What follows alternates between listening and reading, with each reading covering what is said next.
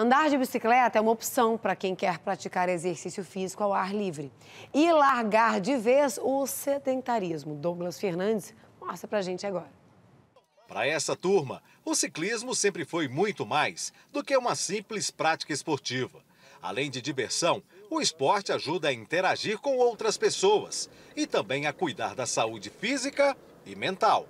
A pedalar para mim é vida, né? Eu acho que, pra, ainda mais para hoje, as pessoas estão com a cabeça, tá todo mundo com muita depressão.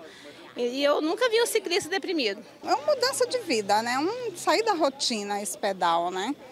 Apesar que eu não morava aqui, aí comecei a descobrir isso através da minha vizinha. E com isso já tem quatro anos que eu pedalo aqui nesse grupo. Mas sempre fica uma dúvida: o certo é pedalar ou andar de bicicleta? Tem alguma diferença? Andar de bicicleta é, é, é mais tranquilo, é uma coisa mais familiar, é mais um divertimento. Agora pedalar já exige um pouquinho mais, né? Andar de forma mais profissional, mais organizada.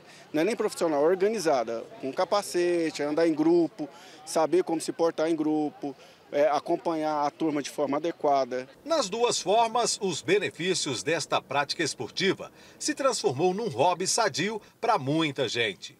O passeio de bicicleta já é uma rotina para esse grupo de atletas amadores. Uma vez por semana, eles se encontram para dar um giro pela cidade. Tudo em nome da diversão e também de melhorar a qualidade de vida. Quando você começa a ser iniciante, não importa muito o exercício em si, a carga em si. Você quer sair para se divertir.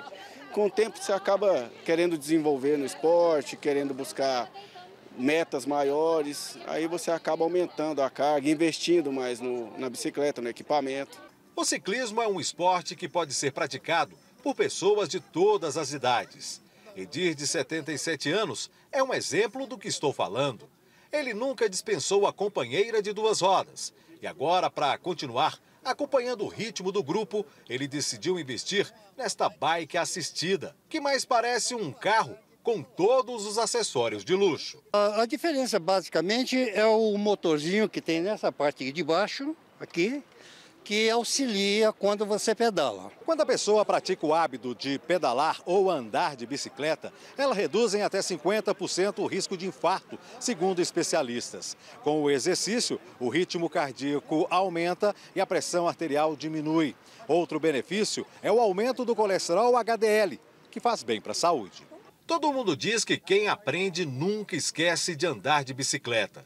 E pensar que um passeio cercado de diversão por uns 40 minutos, três vezes por semana, já é possível para dar adeus a diversos problemas decorrentes do sedentarismo. É interessante que na corrida, na corrida você tem um impacto muito grande no tornozelo, nos joelhos, e no ciclismo consegue é, aliviar um pouco a pressão no joelho. Então, as pessoas que às vezes não conseguem correr porque o joelho está com algum problema, alguma artrose, tem uma maior facilidade na, durante a prática da, da bicicleta. O médico cardiologista disse que existem diversos benefícios para você aderir ao ciclismo no seu dia a dia não exige muito esforço, é uma atividade prazerosa e divertida.